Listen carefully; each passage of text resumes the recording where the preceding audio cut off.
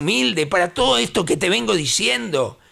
Presenta algo que valga la pena a la gente, que ayude al pueblo uruguayo. No mires más el color político, ni tu ideología, ni nada. ¿Eh? Apostá a la gente. Habla de los gastos, se gasta, extraordinario. Hay que cuidar los dineros públicos, dijo hoy el informativo.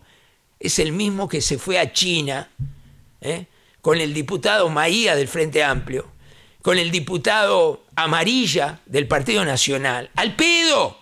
Se fueron al pedo a China los tres, a tener una reunión con tres chinos enfrente, en una mesa, y después venir a decir acá que gracias a esa reunión mejoraron las relaciones internacionales con el Parlamento chino. Déjate de joder, en serio, da lástima. Da lástima. ¿Cuánto salió ese viaje? Al pedo. Un 6 de enero se fueron. Al pedo. Maía del Frente, ¿eh? Maía del Frente. También usufructó el viaje a China, que nos reunimos con parlamentarios chinos. Son capaces de decir ahora que gracias a esa reunión se puede firmar un TLC con China. Porque la verdad son lo que no hay. Actores de primera categoría. Actores de primera categoría. ¿Por qué no hablan en el Parlamento de la ley de medios que hay un silencio total? Silencio total.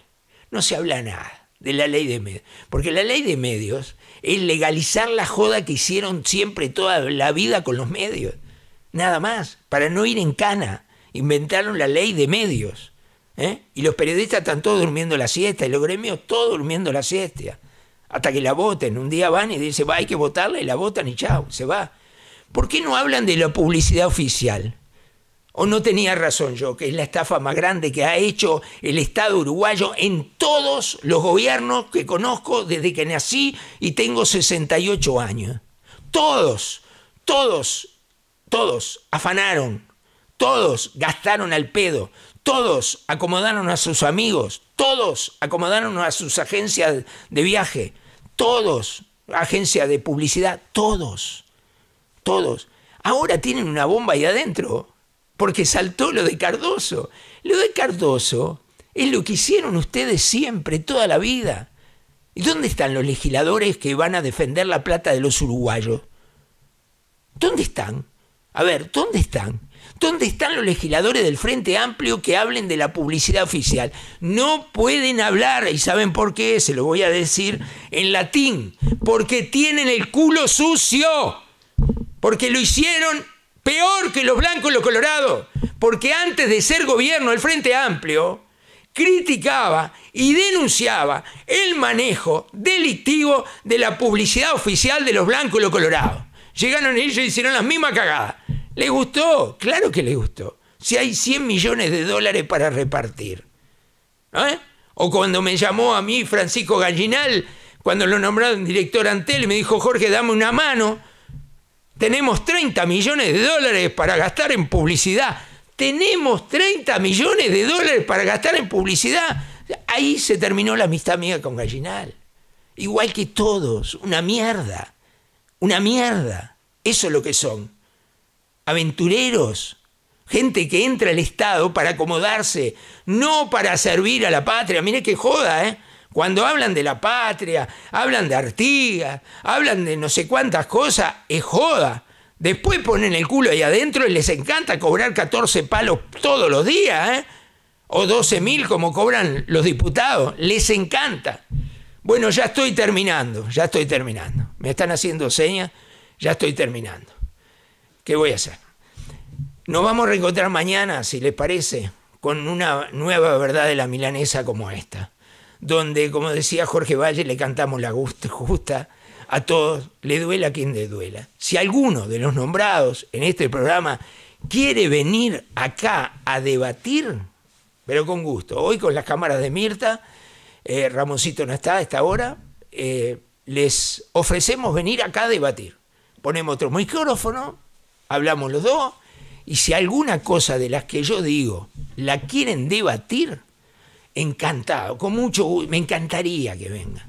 Me encantaría que me llame algún senador, algún diputado, ¿eh? que me llame Manini y me diga, yo no soy un farsante, como usted dice, Bonica. Venga, general, venga. Que me llame Gandini y me diga, Jorge, vos no tenés razón. Cuando fuimos a China con Maía y con el otro sinvergüenza de Amarilla, que después terminó de vice, viceministro, iba a ser ministro, pero le tenían que dar a los colorados y lo pusieron de viceministro, que todos lo conocemos en Rivera.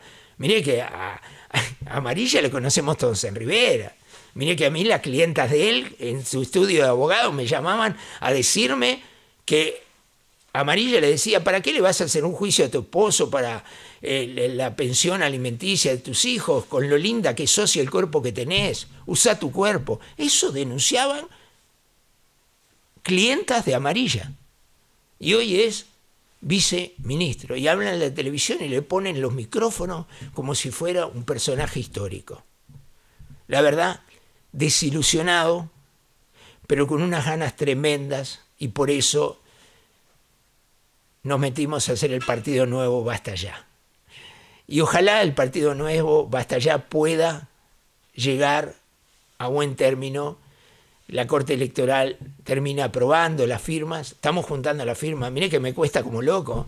Estoy poniéndole el cuerpo con un grupo de amigos a conseguir 1.350 firmas.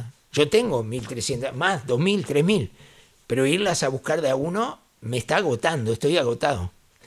Si querés firmar para que el partido Basta Ya te represente, en todos lados, ¿eh? En una junta departamental de Rivera, de Tacuarembó, en una alcaldía, en un concejal, que va a tener esta posición que ustedes vieron hoy en la verdad de la milanesa una posición siempre a favor de la gente, defendiendo a la gente. Queremos transformarnos en los fiscales que lo represente y lo defenda a cada uno de ustedes.